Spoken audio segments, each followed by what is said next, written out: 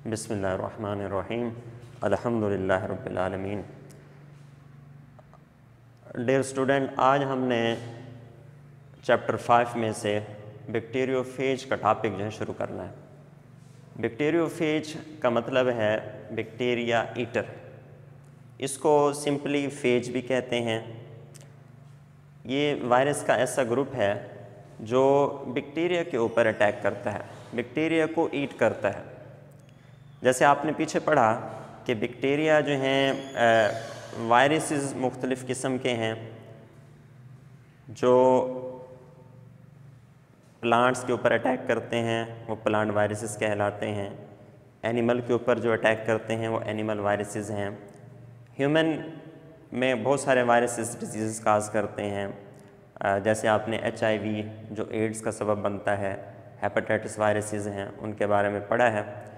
तो ये examination point of view से बहुत इम्पोर्टेंट टॉपिक है। अक्सर एग्ज़ाम में रिपीट होता रहता है।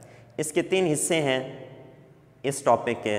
सबसे पहले स्ट्रक्चर के बैक्टीरियोफेज का स्ट्रक्चर कैसा है, इसकी साख्त कैसी है।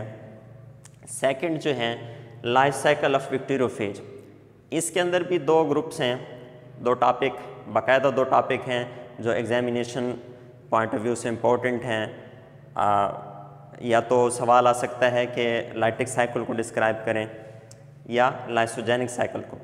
लाइटिक का मतलब होता है लाइसिस ये बैक्टीरियोफेज का ऐसा लाइफ साइकिल है, जिसके अंदर बैक्टीरिया का सेल जो है ब्रस्ट हो जाता है। इसको हम डिस्कस करेंगे आगे चल के।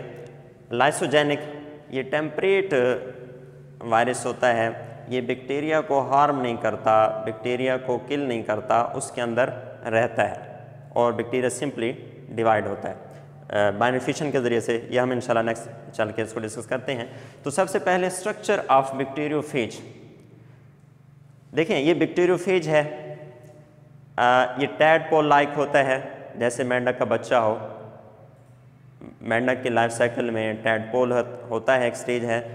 तो ये टैडपोल लाइक स्ट्रक्चर है इसका। इस वजह से इसको टैडपोल लाइक कहते हैं। ये इसका हेड है, जो प्रोटीन से बना होता है, और ये इसकी टेल है। आप देखें, ये हेड जो है, इसके अंदर डीएनए होता है डीएनए कोर और ये टेल है, जिसमें कॉलर फिर टेल फाइबर्स हैं, और फिर बेस प्लेट है। तो बैक्टीरियोफेज जो हैं, ये इकोलाई बैक्टीरिया के ऊपर अटैक करते हैं। सबसे पहले इनको इकोलाई बैक्टीरिया के ऊपर देखा गया। इकोलाई ये सारा स्ट्रक्चर जो है प्रोटीन से बना होता है। ये बैक्टीरिया से थाउज़ेंड टाइम्स वॉल्यूम में समालर होता है। बैक्टीरिया से थाउज़ेंड टाइम वॉल्यूम में समालर होता है। तो ये जो बेस प्लेट है, यहाँ से एक एंजाइम निकलता है लाइसोजाइम बैक्टीरियोफेज बैक्टीरिया ईटर इसका ये हेड है और ये टेल है। हेड और टेल ये दो स्ट्रक्चर हैं। ये सिंपलेस्ट एक टिपिकल स्ट्रक्चर है बैक्टीरियोफेज का। इसकी बेस प्लेट है, जो एक एंजाइम रिलीज़ करती है लाइसोजाइम इसका काम क्या होता है? जब बैक्टीरियोफेज लैंड करता है बैक्टीरियल सेल के ऊपर तो बेस प्लेट जो है, ये बोर कर देती है बैक्टीरियल सेल वॉल के अंदर, जिससे एक होल जो है, वो क्रिएट हो जाता है और जो डीएनए है वायरस का, वो इंटर हो जाता है। Into the host cell bacteria के अंदर। अच्छा टेल फाइबर्स हैं ये अटैचमेंट के लिए होते हैं। आ, हम यहाँ देखेंगे कि जब लाइफ साइकिल लाइटिक फ़ेज़ हो या लाइसोजेनिक फ़ेज़ हो उसमें सबसे पहले आप देखें सबसे पहला मरला जो है लैंडिंग का है। बैक्टीरियो फ़ेज़ बैक्टीरियल सेल के ऊपर लैंड करता है।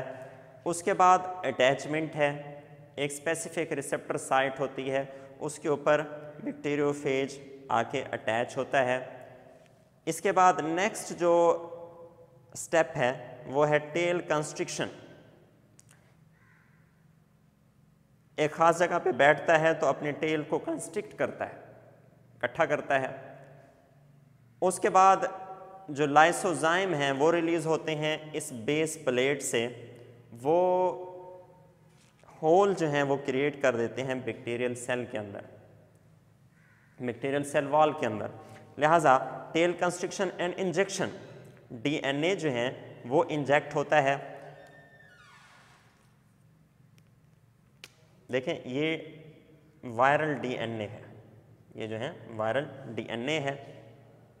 इसके बाद अगला जो स्टेप है वो इनकॉर्पोरेशन है, कि जो वायरल डीएनए इंटर हुआ था, ये बैक्टीरियल डीएनए है।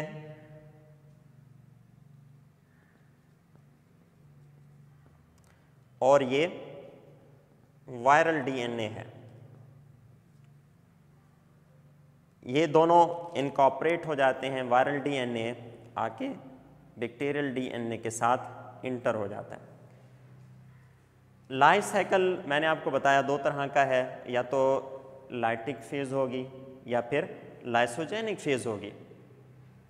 अब लाइटिक फ़ेज़ हो या लाइसोजेनिक फ़ेज़ हो, इसमें क्या होता है? सबसे पहले इंट्री है। जैसे आपने यहाँ डायग्राम में देखा कि लैंडिंग है अटैचमेंट है, इसके बाद टेल कंस्ट्रक्शन है इनकॉपरेशन है, ठीक है सो ऑन तो सबसे पहले इंट्री इनकॉपरेशन हो गया, फिर सेंथिसिस है और मल्टीप्लिकेशन है और लास्ट में रिलीज़ है।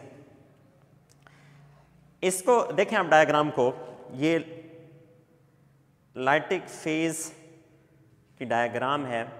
इसमें क्या होता है कि सबसे पहले वायरस खुद बाहर रह जाता है। जो डीएनए डीएनए कोट होता है डीएनए की जो कोट है, वो बाहर रह जाती है। सिर्फ़ जो प्रोटीन की जो कोट है, वो बाहर रह जाती है। जो डीएनए है वो इंटर होता है। डीएनए इंटर होकर वो बैक्टीरियल सेल के डीएनए के साथ मिल जाता है। लाइटिक फ़ेज़ इसको मास्टर एंड स्लेव भी कहते हैं। मास्टर एंड स्लेव इसमें क्या होता है कि वायरल डीएनए बैक्टीरियल डीएनए के साथ इनकॉपरेट होकर जो बायोसिंथेटिक मशीनरी है, बैक्टीरिया की अपनी बायोसिंथेटिक मशीनरी जो है, उसको वायरल डीएनए कंट्रोल कर लेता है। अब बैक्टीरिया का अपना डिवाइड होना, अपना मेटाबॉलिज्म करना, अपनी जो लाइफ एक्टिविटीज़ हैं, वो स्टॉप हो जाती हैं। क्या होता है? सबसे पहले डीएनए की सेंथिसिस होती है। डीएनए सिंथेसाइज होता है। ये यहाँ पे देखें आप, ये वायरल डीएनए है। फिर इसके बाद नेक्स्ट जो हैं, जो बैक्टीरियोफेज के डिफरेंट पार्ट्स हैं, जैसे हेड है टेल है, वो सेंथिसाइज होते हैं, वो भी फॉर्म होते हैं। ट्रांसलेशन हुई ट्रांसक्रिप्शन हुई। अब इसके बाद पैकिंग है।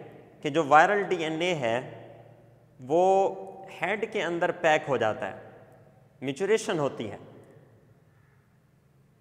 पैकिंग के बाद मेचुरेशन हुई और अल्टीमेटली ये होता है कि जब इनफ बैक्टीरियोफेज जनरेट हो जाते हैं इनसाइड द बैक्टीरियल सेल वो एक प्रेशर जो है वो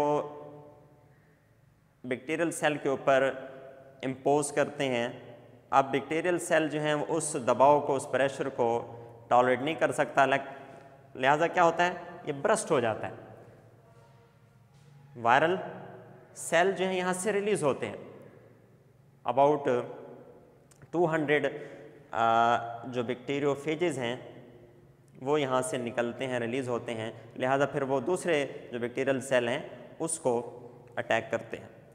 तो समरी में देखें लाइटिक फ़ेज़ में क्या होता है कि वायरल डीएनए इंटर होकर बैक्टीरियल डीएनए को कंट्रोल कर लेता है। बैक्टीरिया की अपनी जो बायोसिंथेटिक मशीनरी है, वो काम करना छोड़ देती है। लिहाजा ये आर्डर करता है कि मेरे डीएनए को मल्टीप्लाई करो। डीएनए की फार्मेशन हुई। प्रोटीन कोट जो हैं, जिसमें हेड और टेल हैं, वो फार्म हुए। फिर पैकिंग हुई। मेचोरेशन हुई। ठीक है? और अल्टीमेटली बैक्टीरियल सेल जो हैं, ये ब्रस्ट हो जाता है और उसमें से बहुत सारे वायरसेस जो हैं, वो रिलीज़ होते हैं। लिहाजा ये ये लाइटिक फ़ेज़ है। इस डायग्राम के साथ आपने उसको जो है नोट करना है। एक एक स्टेप को बुक में भी इन डिटेल ये सारी चीज़ें ऐसी ही मौजूद हैं। दूसरे नंबर पे लाइसोजेनिक है। ये कभी शॉर्ट क्वेश्चन में भी आ जाता है। कभी जो है ये लॉन्ग क्वेश्चन में भी आ जाता है। लाइसोजेनिक इसका मतलब ये है कि ऐसा बैक्टीरियोफेज का लाइफ साइकिल जिसके अंदर बैक्टीरियल सेल को हार्म ना हो बैक्टीरियल सेल जो हैं ब्रस्ट ना हो सिंपली जैसे बैक्टीरिया डिवाइड होते हैं, वैसे ही डिवाइड होता रहे होता रहे। बायनिफिशन के ज़रिए से एक से दो सेल बनते रहें बनते रहें। ये लाइसोजेनिक साइकिल है। इसमें भी उसी तरह लैंडिंग होगी अटैचमेंट होगी टेल कंस्ट्रिक्शन इंजेक्शन होगी, और अल्टीमेटली इनकॉपरेशन और नेक्स्ट अच्छा एक बात यहाँ पे नोट करें कि जब वायरल डीएनए बैक्टीरियल डीएनए के साथ मिलता है लाइसोजेनिक साइकिल में तो इसको कहा जाता है प्रोफेज। इसको नाम देते हैं प्रोफेज का। अब ये बैक्टीरिया नहीं कहलाएगा प्रो बैक्टीरियोफेज भी नहीं कहलाएगा, बल्कि क्या कहेंगे इसको हम? प्रोफेज कहते हैं। और इसमें ये normally viral DNA bacterial DNA के साथ इनकॉपरेट होके नॉर्मली बैक्टीरियल सेल डिवाइड होता रहता है। लेकिन, जब कोई irritant for example ultra violet rays इस प्रोफेज के ऊपर पड़ती है तो ये लाइसोजेनिक से अगेन लाइटिक हो जाता है। इस चीज़ को कहते हैं इंडक्शन इस अमल को when when lysogenic, during lysogenic cycle, the prophage due to ultraviolet radiation change into lytic phase. This is known as induction. Uh, ये शॉर्ट क्वेश्चन में आ सकता है कि व्हाट इज़ इंडक्शन इसको अंडरलाइन करें देखें बुक में कि ऐसा पीरियड के जो प्रो, प्रोफेज के ऊपर जब अल्ट्रावायलेट रेडिएशन जो हैं पड़ती हैं तो वो लाइसोजेनिक से अगेन लाइटिक फ़ेज़ में कन्वर्ट हो जाता है, इसको इंडक्शन कहते हैं। तो ये था बैक्टीरियोफेज सबसे पहले इसका स्ट्रक्चर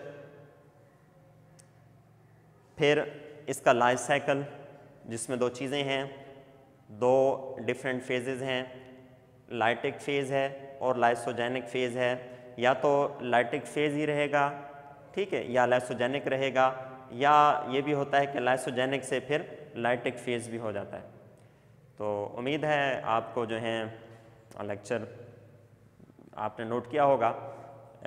इन हम फिर नेक्स्ट टॉपिक जो है नेक्स्ट पढ़ेंगे कल।